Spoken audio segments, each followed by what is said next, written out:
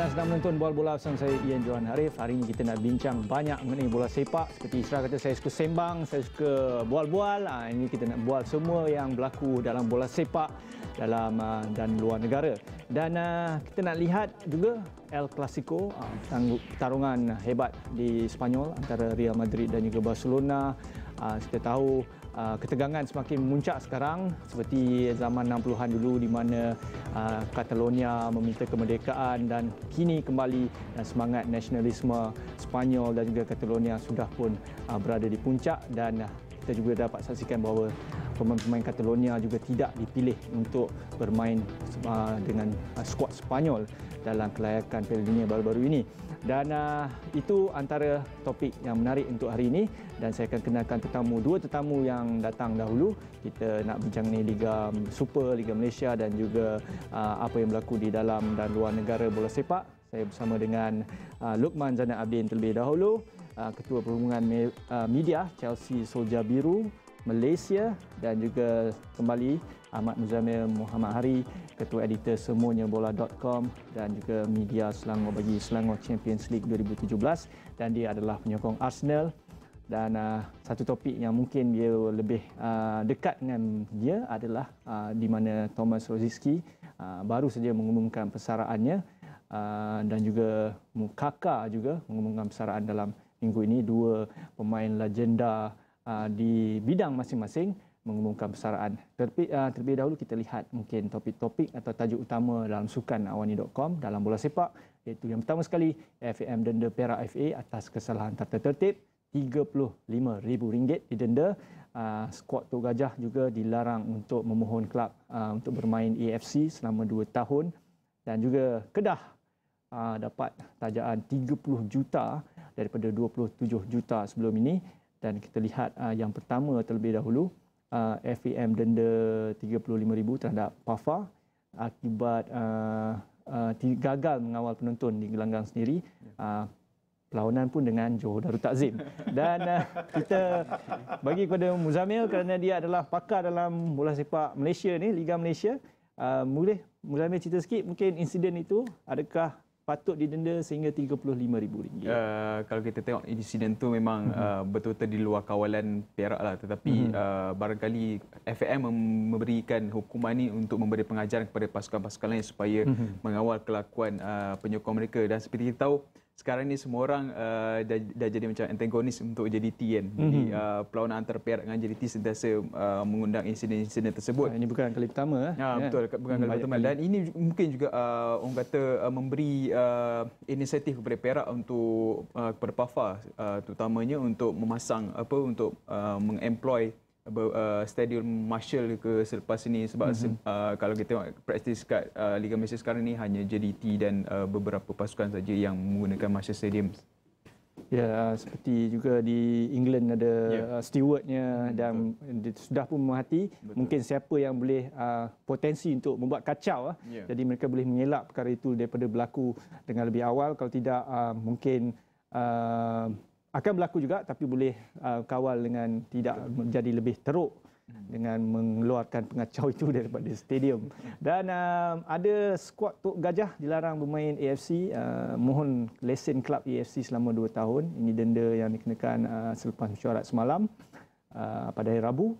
Um, pada 2019 dan 2020 uh, dibuat jawatan kuasa tata tertib FAM uh, mesyuarat pada Rabu penggal keempat dan menang, dikatakan melanggar artikel 14 iaitu enggan atau gagal mendaftar pasukan untuk bermain Piala AFC bagi 2018 dan uh, kita nak tahu juga mungkin apa pandangan Muzamil. Uh, Pahang tidak mahu main AFC Alasan utama Pahang FA untuk menolak uh, ta, uh, apa tawaran tersebut adalah hmm. kerana mereka uh, mendakwa bajet mereka pada tahun uh, musim ad, uh, musim hadapan adalah hanya untuk saingan domestik saja. Hmm. Jadi uh, kos mereka yang mereka perlu uh, keluarkan untuk menyertai pertandingan AFC ni agak uh, merisaukan mereka jadi mengambil hmm. keputusan mudah untuk tidak langsung uh, mengambil serta dalam acara AFC. Tapi kita dah tahu dalam buku manual uh, dalam buku uh, undang-undang FAM uh, hmm. uh, manual peraturan FAM tu uh, ada terje, terjelas statut atau artikel di mana hmm. menetapkan mana-mana pasukan yang uh, yang menolak uh, tawaran uh, bukan tawaran lah orang kata Betul. arahan daripada FAM untuk mm-hmm. bermain dalam kejohanan FC boleh dikena denda dan mm-hmm. bagi saya itu risiko yang perlu diambil oleh Pahang lah untuk menolak tawaran tersebut mereka Uh, sedar tahu, eh. uh, dalam jangka masa panjang mereka tak cukup bajet tapi mungkin hmm. dalam jangka jangka masa pendek mereka akan ada ke dikenakan denda seperti uh, hmm. yang baru dikenakan mereka pagi tadi. Dan uh, salah satu yang saya terdengar daripada Presiden FAM kalau tak ada boleh hantar senior squad, bolehlah hantar presiden ke janji ada wakil eh. Tapi itu agak satu yang sukar eh. Isu dia bukannya hmm. apa uh, ada pemain yang tidak. Hmm. Isunya adalah sama ada belanja untuk mengeluarkan uh, untuk menyertai pertandingan hmm. AFC Yalah, Cup tu ke luar. Uh, yang keluar tu itu yang menjadi masalah sekarang ni. Jadi, hmm. jadi Pahang tak nak dia dia dah settle lah fikir uh, bajet untuk musim depan dia hmm. kalau difikir pasal AFC Cup nanti kerja dia orang tambah lagi. Jadi itu yang hmm. jadi isu sekarang. Dan kalau nak katakan Kedah, Kedah uh, dapat 30 juta, uh, 27 juta bagi tahun ni, 30 juta untuk 2018. 18 juta dia terima daripada penaja utama ECK Development Sdn Berhad dan uh, mungkin 12 juta daripada uh, kerajaan negeri kerana diumumkan oleh Presiden uh, KFA sendiri Datuk Seri Ahmad Bashar Uh, dan ini satu yang baik eh kerana mereka juga dapat 5 juta diperuntukkan khas untuk uh, kekalkan uh, Lee Ridwan, Sandro ya. dan dua pemain ini dan mungkin apa yang lagi, mereka boleh lakukan lagi dengan duit sebanyak tu. Uh, bagi saya paling utama sekarang bagi Kedah uh, dengan bajet 30 juta tu hmm. instead of uh, investing so much dalam senior team mungkin uh, invest pada next product which is uh, hmm. academy mereka mereka sekarang dah ada academy Datuk Ahmad Basri kan hmm. tapi pada saya lah uh, angka 30 juta tu masih lagi jauh untuk menandingi JDT, JDT kalau kita yes. JDT 50 juta setahun Luqman oh punya JDT ya jadi uh, kalau nak lawan dengan uh, uh, JDT itu dengan tiga, bajet 30 juta dengan bajet kurang 15 juta daripada JDT itu mm-hmm. uh, ada satu kurang realistik ya. uh. that's why saya insist kepada Kedah untuk invest kepada future which is uh, mm-hmm. pembangunan akademi mereka dan mungkin kalau apa uh, dengan bakat-bakat mereka itu mungkin akan kena beli nanti. Dengan pasukan kena sama buat clause, kena buat clause cepat. At least kita ada clause kita boleh buat duit lagi kan daripada produk akademi itu. Jadi sekurang-kurangnya 30 juta yang diberikan oleh penaja itu taklah terbuang uh, sewenang-wenangnya dekat pasukan senior. Ya, itu mungkin uh, cara yang baik. Dan kerana kita tahu uh, pembangunan uh, dari uh, peringkat akar umbi masih belum dijalankan sebetul-betul eh. Di mana-mana persatuan kelab bola sepak pun belum ada uh, pembangunan yang betul kecuali JDT. Betul. JDT di situ kerana memiliki stadium sendiri, pusat latihan sendiri dan sebagainya. Dan itu patut dilakukan oleh semua kelab. Uh, duit nak cari kat mana itu usaha mereka sendiri dan kita akan kembali sebahas ini kita lihat pula uh, berita-berita bola sepak antarabangsa.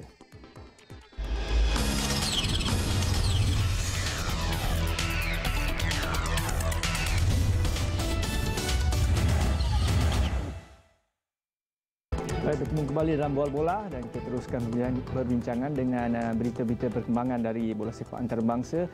Dan uh, mungkin topik uh, untuk minggu ini adalah dua pemain yang besar Kaka AC Milan Brazil dan juga Thomas Rosicky public check dan juga membekas Arsenal di situ. Dan kita bagi peluang um, Kaka terlebih dahululah. Kerana kita tahu uh, Lukman ni dia ada memori kakak tersendiri. Saya saya memang tahu kakak ni seorang pemain yang skillful tapi saya lebih ingat dia kepada yang injury prone, selalu cedera, tak dapat main dan sebagainya terutama sekali semasa di Real Madrid hari itu. Dan uh, okey, boleh berikan terus kepada Lukman. okey, uh, pertama sekali uh, saya ucapkan tahniah kepada kakak eh, atas karier mm yang cukup meaningful uh, mm-hmm. dalam arena bola sepak. Tidak ada pemain yang uh, tidak mahukan apa yang kakak ada. Eh. Mm-hmm. Jadi uh, seperti yang Ian cakapkan, injury prone itu semasa di Madrid. Uh, saya tidak rasa sesuai pada hari ini untuk menyalahkan Madrid uh, okay. kerana kita, kita ada El Clasico sekejap lagi. Okay. Tapi saya lebih lihat kakak semasa di AC Milan. Eh. Uh-huh. Uh, ketika uh, era di mana bagi saya ketika itu uh, AC Milan terlalu gah. Eh. Kalau sebagai penyokong uh, Liverpool, uh, saya rasa Ian patutnya uh. mahir kat situ. Yeah. Uh, jadi uh, memori saya bersama kakak ini adalah kerana ketika itu Ancelotti bersama Chelsea uh-huh. dan ada rumor sebenarnya yang kakak, kakak ingin dibeli. Uh, hmm. Jadi sejak itu saya menonton uh, lebih kerap eh, uh, uh, menonton kakak. Antara memori yang saya betul-betul eh, ini yang memang saya meminati ketika game uh, tak silap saya lupa di, di peringkat mana tapi menentang Manchester United ketika itu kakak menunjukkan kenapa beliau ataupun uh, pemain Brazil ini lebih baik daripada Cristiano Ronaldo ketika itu eh mm-hmm. uh, dan membantu Milan sebenarnya untuk mara ke uh, round yang seterusnya uh, itu satulah jadi domestik pula ketika itu bagi saya kakak hebat dan mendapat uh, ketika itu Ballon d'Or. Maksudnya hmm. sekarang ini antara Messi dan juga hmm. Cristiano. Okay. Tapi kakak adalah orang yang terakhir untuk untuk memenangi. Eh. Maksudnya hmm. mungkin manusia terakhir lah selepas uh, dua alien ini. Eh. uh, jadi jadi jadi mungkin perlu belajar sesuatu dengan kakak ketika itu. Eh. Uh, sebab ketika kakak menang itu pun bukan Cristiano ataupun Messi tidak wujud. Yeah. Sudah wujud sebenarnya. Mm-hmm. Tapi mungkin towards the end dan sampai ke Madrid agak bagi saya agak unlucky. Mm-hmm. Uh, tidak dapat terlalu menyerlah dan Cristiano for, for me lah terlalu menyerlah di di Madrid sampaikan kakak pun tenggelam dan akhirnya uh, bersara uh, bermain petang-petang di Amerika eh. okay. bersama Orlando. Mm. Jadi uh, mengumumkan uh, persaraan uh, ucapan tahniah lah, uh, kepada kakak. Eh. Dan uh, seterusnya uh, Thomas Rosicky Uh, bekas main Arsenal dan juga Republic Czech uh, mengumumkan persaraan ini baru uh, dia buat sidang media di Prague pada Rabu um, kecederaan eh, uh, seperti kakak tapi saya rasa Rosicky lagi banyak kecederaannya eh, semasa yeah. Arsenal tidak banyak perlawanan yang dimainkan tapi uh, Muzamil ada cerita tadi uh, kerana dia special kerana dia uh, sentiasa menyelah menentang Tottenham Hotspur Ya betul. Uh, kalau kalau kita tengok ah kita timbang sekali kenapa Wenger beli Thomas Rosicky dulu mhm. daripada Dortmund adalah untuk mencari pengganti Pires. Okay. Pires masa itu dah berumur 36 tahun. Jadi dia beli uh, Thomas Rosicky untuk ganti Pires dan seperti Pires uh, Rosicky juga adalah hero bagi uh, bagi pemain Arsenal sebab dia ada kecenderungan untuk menjadikan gol ketika North London Derby. Mm-hmm. Uh, saya paling ingat gol uh, ketika beliau uh, ni uh, masa Uh, ketika Arsenal sedang sedang mengalami kekalahan berturut-turut kemudian uh, apabila kita menang 5-3 daripada uh, Spurs pada ketika itu mm-hmm. uh, kemenangan yang dicetuskan oleh uh, Thomas Rosicky dalam North London Derby itu membuat Arsenal terus mencapai kemenangan-kemenangan sampai dapat nombor 4 which is our safe spot kan. Kita punya tempat kan. Uh, kemudian uh, bagi saya Thomas Rosicky ni adalah orang kata embodiment of passion in football. Maknanya mm-hmm. walaupun anda injury anda ada apa uh, nasib yang malang dalam bola sepak sekurang-kurangnya bila anda ada passion bila anda ada kesetiaan mm-hmm. anda tetap akan dijulang sebagai hero oleh uh, oleh penyokong kelab bola sepak. Dan uh, cakap mengenai hero uh, dan kita tahu uh, pada uh, mal awal pagi uh, Khamis tu uh, Manchester United uh, dikejutkan oleh Bristol City ya uh, kelab yang ke- sangat kerdil uh, kalah di suku akhir dalam Carabao Cup ataupun Piala Liga Inggeris yeah. dan uh, hero ni adalah Corey Smith uh, menjaringkan gol pada masa kecederaan nak katakan uh, Manchester United menurunkan mungkin bukan kesebelasan utama tapi tak, kita tengok ada Pogba, hmm. ada Rashford, Ibrahimovic juga bermain, uh, Martial uh, mungkin nak salahkan Romero tak boleh juga kerana dia penjaga gol. Um, siapa yang nak rumuskan kekalahan ini? Uh, bagi bagi saya uh, kalau Ian uh, sedikit saya ulas tadi eh, mengenai hmm. Stewart tapi dalam game tu kita tengok Stewart pun tak boleh nak halang eh.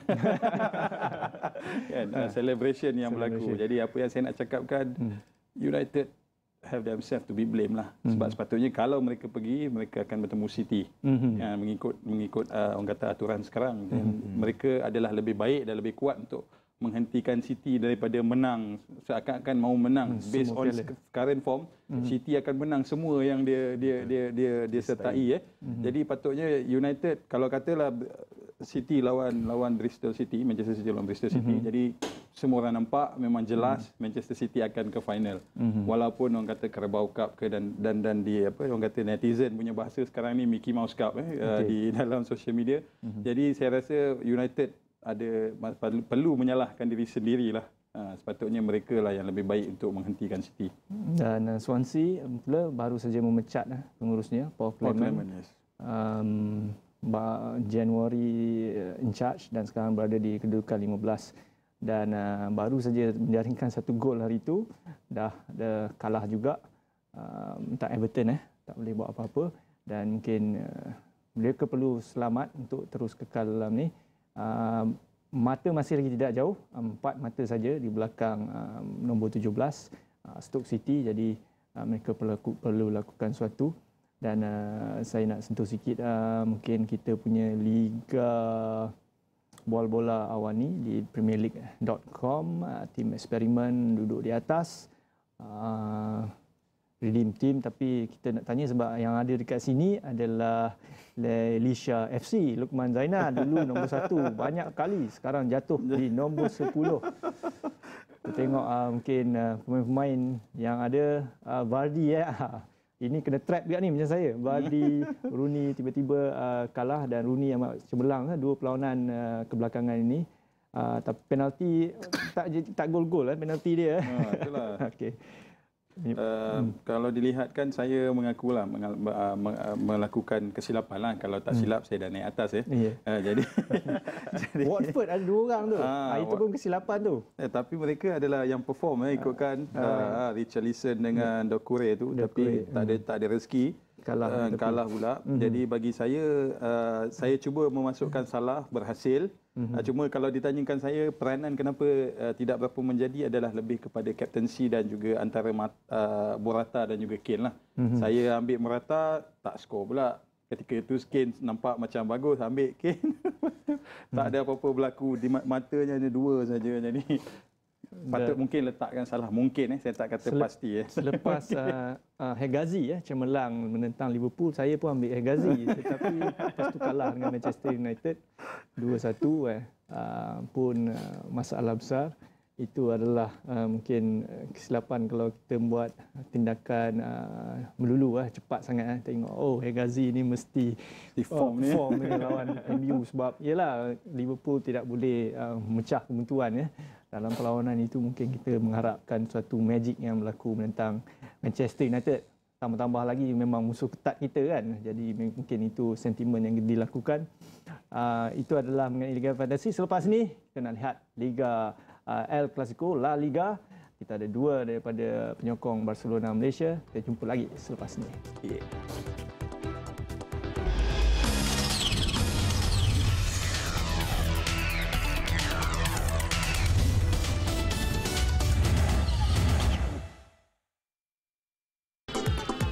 Baik, bertemu kembali dalam Bual Bola dan kita akan teruskan rancangan ini dengan El Clasico. Uh, sudah pasti uh, El Clasico kali ini uh, paling menarik kerana ia akan dimainkan pada Sabtu jam 8 malam berbanding El Clasico terang terdahulu terpaksa tunggu sampai 3.30 3.45 pagi tapi kali ini dia telah mengacau prime time bagi Liga Perdana Inggeris jadi semua kena tengok El Clasico kerana sudah pasti menjanjikan pertarungan yang sangat hebat antara dua ini terutama sekali ya.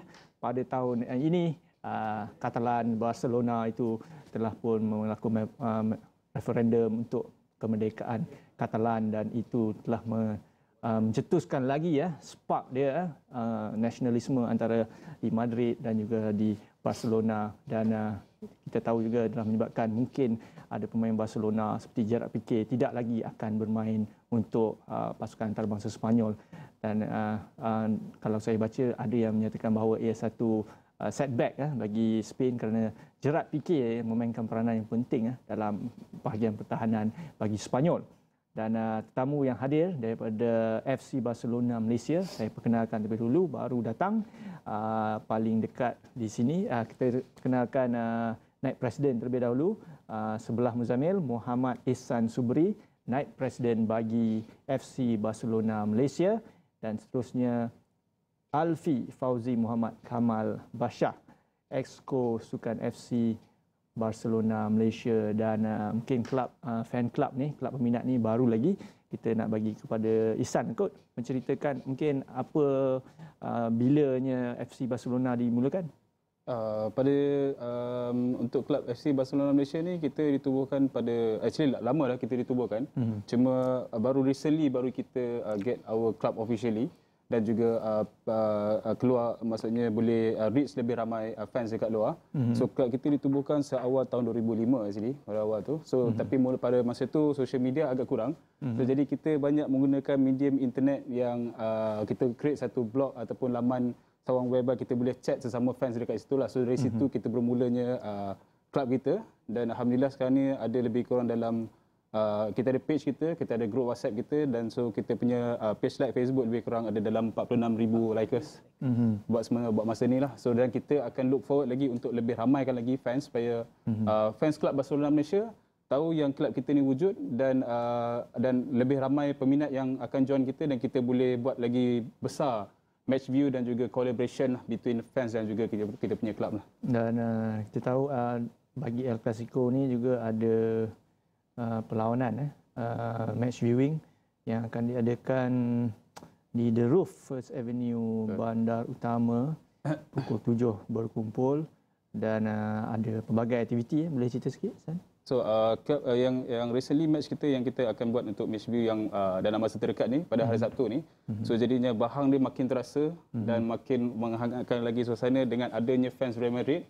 Mm-hmm. So jadinya uh, kita set dekat satu tempat which uh, which is uh, the roof uh, uh, the score actually nama tempat tu rooftop dekat uh, mm-hmm. OU dan uh, kita expecting around uh, 200 packs of uh, fans yang akan ada dekat situ mm-hmm. uh, untuk kita tengok dan view match uh, bersama dekat situ. Selain daripada itu juga kita ada aktiviti untuk new registration for new members mm-hmm. dan juga kita juga ada um, uh, buat lucky draw, mm-hmm. teka contest uh, dan juga uh, kita akan uh, introduce lah kita akan buat recognition bit pasal Real Madrid punya fan club dan juga kita punya fan club dekat situ supaya uh, supaya dia semua tahu macam mana untuk reach kita lah dengan lebih senang dan uh, di apa di apa diketuai eh, oleh orang muda-muda eh, seperti San dan Alfi ini uh, mungkin dia jadi trend eh, sekarang eh. Lukman uh, kelab peminat untuk Barcelona ni dan Barcelona dan kelab-kelab lain eh. Uh, dan kita tahu uh, perlawanan El Clasico ni Uh, mungkin uh, antara Real Madrid lawan Barcelona tapi kalau kita baca orang cerita Ronaldo Messi Ronaldo Messi dan uh, kalau nak cerita statistik pun antara dua orang tu saja ada. Tapi kita tahu bola sepak ni bukan uh, kata seorang pemain saja tapi 11 pemain. Tapi um, inilah dua pemain yang betul-betul uh, hendak main eh, dalam perlawanan ini. Kalau kita lihat uh, statistik uh, di goal.com ni semua mengenai Ronaldo dan Barcelona siapa yang lebih banyak dan kelebihan sekarang semua boleh dikatakan semua dimiliki oleh uh, Real Madrid bukan Barcelona. Tambahan pula bermain di Santiago Bernabeu mungkin um, kita beri kepada sebab orang baru datang kita bagi kepada orang baru dulu mungkin apa yang mereka jangkakan uh, dalam perlawanan ini terutama sekali dalam masa yang tegang buat masa ini bagi kedua-dua pihak Alfi eh. Okey, um, kedua-dua pasukan Real Madrid dan Barcelona mempunyai um, performance yang agak uh, baguslah jika kita lihat uh, previous uh, previously uh, Real Madrid baru saja memenangi FIFA Club World Cup. Mm-hmm. Dan uh, kalau kita tengok pada previous game La Liga Real, uh, uh Real Madrid memenangi 5-0 dengan Sevilla. Okey, namun uh, tapi apa Barcelona pun tak lebih kurang power je. Okey, so okay. um kita still unbeaten, Barcelona still unbeaten uh, dalam La Liga. Mm-hmm. Uh, kita still nombor satu mm-hmm. uh, dalam tangga La Liga diikuti dengan uh, Atletico, um, Valencia dan juga Real Madrid. Okay. Mm-hmm. So pada saya perlawanan ini memang uh, akan jadi macam biasalah memang akan jadi hangat, akan jadi mm-hmm. intense.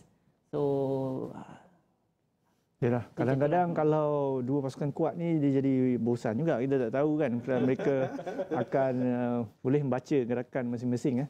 Lukman. Uh, bagi saya Ian, uh, hmm. buat masa ni kalau statistik uh, individual pasukan ataupun uh, form semasa hmm. berat kepada Barcelona eh. Tapi okay. um, saya ingatkan nak jadikan Chelsea pasukan yang mula menghentikan mereka. Namun mungkin Real Madrid should do it lah okay. if not then we have to do it lah for them eh sebab okay. tak silap saya lambat sekarang lagi Februari. Ah ha, lambat lagi tu saya ingat. Oh okey kan ha. so di, kalau dilihatkan um, Barcelona unbeaten betul? Betul betul. Siapakah yang beat Barcelona sebelum unbeaten tersebut? Jadi this is the moment lah Real Madrid sebab apa sebab kalau dilihatkan di tangga liga pun mereka ketinggalan agak jauh walaupun mm-hmm. ada satu game in hand mm-hmm. should they win pun actually dia hanya memberi peluang kepada Atletico sebenarnya tapi mm-hmm. by the end of the day kita masih lagi panjang masih lagi jauh so i hope uh, the game akan jadi best uh, bukan kerana banyak red card lah tapi okay. dengan gol lah saya harapkan okay. gol bukan red card lagi banyak daripada gol eh. uh, itu harapan saya lah itu mungkin satu kemungkinan juga lah, sebab kita tahu lah sekarang dua-dua belah pihak hendak menang ni bukan uh, bukan sahaja di bola sepak ah kerana mereka tahu uh, tension ketegangan antara dua ni uh, adalah untuk lebih daripada sekadar itu dan uh, kita bagi pada Muzamil lah um, apa Muzamil jangkakan Uh, kalau kita tengok sekarang Barcelona uh, dia orang melakukan something yang unthinkable bagi saya which is mm-hmm. main 4-4-2. Okey. Jadi uh, saya tengok dalam 4-4-2 ni link up antara Messi di tengah uh, mm-hmm. dia dia partner partnership dengan Suarez sebab sekarang Suarez banyak offside saja. Okey. Uh, jadi saya tengok link up beliau antara Messi dengan Alba di sebelah kiri itu ada crucial. Jadi mm-hmm. amat penting bagi uh, Real Madrid untuk pasang seseorang yang uh, yang memang defensively sound di sebelah kanan which is uh, dengan kembalinya Dani Carvajal tugas tu akan memihak kepada uh, ni lah kepada Real Madrid sebab sebelum ni mereka menggunakan Ashraf mm-hmm. uh, Ashraf Anwar tak saya apa Ashraf Kimi. Uh, Ashraf Kimi Ashraf Oh. Kimi ha. Ashraf sebagai uh, back kanan mereka jadi dengan kembali Dani Carvajal kemudian uh, saya dapat dengar berita tadi daripada Marca yang uh, ada kemungkinan uh, gandingan BBC ya uh, mm-hmm. akan kembali semula tapi uh, Marka tidak menjangkakan uh, Bale akan bermain akan bermula sebagai kesebelasan utama sebaliknya Isco yang akan bermain jadi saya menjangkakan uh, baris, uh, apa ada amat penting bagi Real Madrid untuk memecahkan link up antara Messi dengan Alba tu. Maknanya menghalang larian Alba tu pasang perangkat offside ke ataupun marking dia ke ataupun masukkan Lucas Vazquez sebelah kanan tu untuk dia mark uh, Alba sampai habis ke. So saya uh, menjangkakan uh, apa uh, jika Real Madrid berjaya melaksanakan semua yang saya cakap tadi itu berkemungkinan mereka akan muncul sebagai pemenang. Okey, uh, Barcelona boleh simpan dulu. Kita akan berehat dahulu. Lepas ni kita bagi ke Barcelona untuk uh, mungkin uh, setuju atau tidak dengan Muzamil.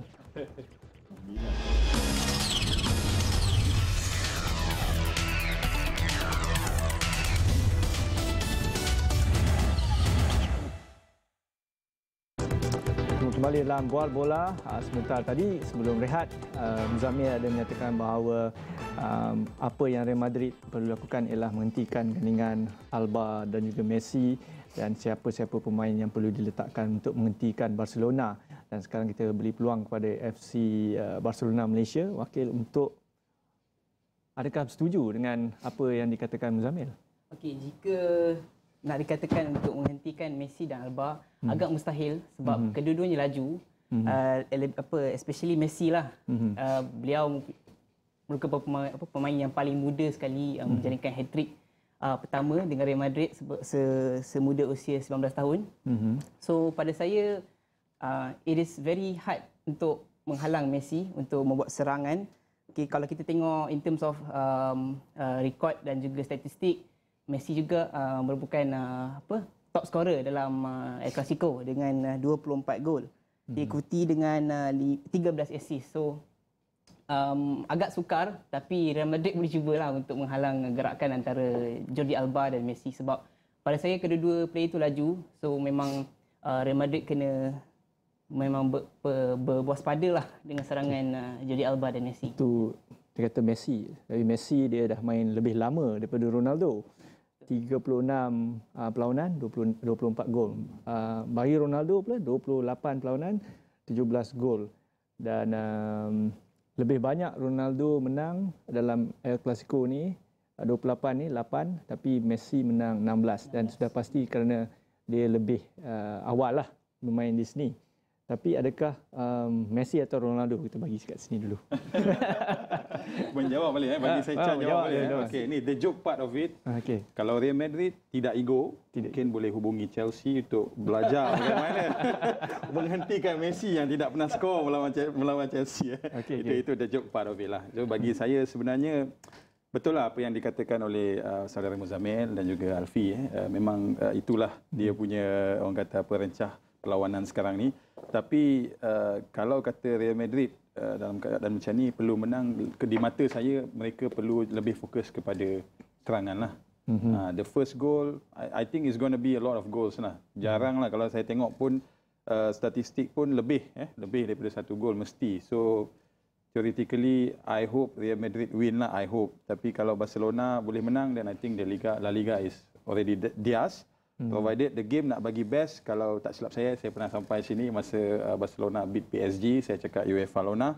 Kali ni saya just nak bagi tahu lagi hopefully tak ada La Liga Lona lah kan. Ah, so so basically I hope it's going to be a fair competition lah. The ref should be very strong lah and very firm itulah. Dan uh, ramai juga um, mungkin bukan Real Madrid yang buat benda ni tapi Atletico uh, yang melancarkan laporan uh, terhadap uh, um, cuba untuk mendapatkan Antoine Griezmann eh. Uh, itu salah satu berita yang terbaru. Uh, ini bukan kali pertama Barcelona dituduh ha, untuk cuba tap players eh. dan ini yang terbaru dilakukan. Um, Zamil ada lagi nak menambah daripada apa yang dikatakan dua-dua laju eh. Dua-dua laju. uh, look macam ni. Uh, saya melihat uh, Real Madrid takkan bermain um, super orang kata gangho menyerang mm-hmm. ketika uh, menentang Barcelona. Dia play smart, dia akan uh, defend deep then uh, look for opportunity to uh, orang kata counter press lah. Mm-hmm. Uh, jadi bagi saya uh, yes Barcelona ada pemain-pemain laju tapi kita perlu ingat di back kanan mereka ada weak pointnya which is Sergio Roberto. Sekarang ni di, di, di dalam camp Barcelona ada uh, orang kata macam dilema lah sama ada nak masukkan uh, Nelson Semedo ataupun Sergio Roberto. Mm-hmm. Bagi saya uh, besar kemungkinan berdasarkan prestasi semasa Sergio Roberto akan dimasukkan. Tetapi defensively Nelson Semedo jauh lebih solid berbanding Sergio Roberto. Jadi mungkin di situ ada peluang bagi Cristiano Ronaldo di sebelah kiri itu untuk exploit kelemahan yang dimiliki oleh Sergio Roberto tu ketika counter attacking. Jadi saya melihat sekarang ni poinnya sama ada uh, Sergio Roberto boleh tangani uh, bahaya yang dimiliki oleh Cristiano Ronaldo ataupun uh, Benzema kalau dia switch uh, swap-swap position mm-hmm. ataupun uh, sama ada uh, Dani Carvajal yang bakal diturunkan buat kali pertama selepas kecederaan pada uh, Sabtu ni boleh menahan tak uh, ancaman yang dimiliki oleh Alba. Okey, itu satu dan uh, kita beri kepada uh, kita balik kepada Rukman. Uh, dia hari ini menyebelahi Real Madrid. Sudah pasti Real Madrid menang tapi berapa banyak gol dan bagaimana? Uh, saya expect at least lah uh, to to be respectful to Barcelona eh, 2-1 mm-hmm. lah. Mm-hmm. So bagaimana tu macam saya rasa saudara Muzamil sudah bagi tahulah. Cuma mm-hmm. for me when it, it comes to El Clasico ni normally dia memang akan melibatkan player besar lah. Mm-hmm. So the key is kalau di mata saya eh kalau Madrid nak menang they should score first. Mm-hmm. If if kalau Barcelona score first jarang saya tengok Real Madrid boleh buat comeback. Boleh tapi mm-hmm. jarang. Sebab apa? Sebab I don't know why it's always like that. Barcelona score even Barcelona menang besar pun di di di di uh, Bernabeu. Uh, so uh, tak silap saya Ronaldinho pernah di diberikan standing ovation juga di Bernabeu saya. ha kan so bagi saya macam the key is always the first goal lah. Kalau hmm. Real Madrid dapat then they should be able to win it. Yang kosong-kosong saya pernah berjaga pukul 3 lebih pagi kosong-kosong dan selepas itu saya tidak lagi menonton El Clasico tapi ni pukul 8 boleh ya. Zamir berapa? 3-1 untuk Real Madrid. 3-1 Real Madrid. Ya. Okey Ihsan macam mana? Of course, uh, dari segi pandangan saya, uh, memang kita always expect our team yang we support uh, to win the match all the time lah, mm-hmm. usually. Kan, even though uh, uh, we have uh, injuries players ke ataupun kita ada uh, previous match yang yang agak worse, but we always expecting to win all the game. Even mm-hmm. though uh, game yang currently yang kita, for example macam El Clasico, of course for sure, let's say you ask me, for sure saya akan cakap uh, Barcelona yang akan menang lah. Hmm. Tapi dari segi statistiknya kata katakan tengok dari segi uh, kedua-dua klub uh, Barcelona dan, dan juga Real Madrid previous match dia orang ada uh, good motivational team lah kita tengok which is sebab uh, keseluruhan game yang dia orang menang sebelum ni pun ada yang menang 4-0 ada yang menang 5-0 so hmm. maksudnya jaringan gol yang banyak yang boleh menjembatkan tim dia orang uh, ada semangat yang tinggi untuk berjumpa pada hari Sabtu ni nanti. So hmm. jadi uh, tapi kalau bagi tanya tanya kepada pendapat saya of course saya akan menyokong Barcelona yang akan menang untuk untuk game yang seterusnya lah. Hmm. Okay, Real Madrid sebagai uh, juara dunia. Ihsan, secara pendek berapa gol? Oh, okey. Um, saya menjangkakan 3-2. 3-2 Real, yeah. Real Madrid eh bukan. Barcelona. Saya tentu Barcelona dengan 3 skor ya. Dan siapa yang boleh tengok um, siapa yang ingin menonton untuk uh, La Liga itu perlawanan El Clasico boleh ke Bein Sports 837 di saluran Astro bermula 7 malam uh, pre-game match analysis dan kemudian game pada pukul 8 malam bermula pada 7.55 uh, dan uh, di Bein Sports 837 Astro dan terima kasih kepada semua tetamu yang hadir. InsyaAllah kita jumpa lagi minggu depan. Pendek lah.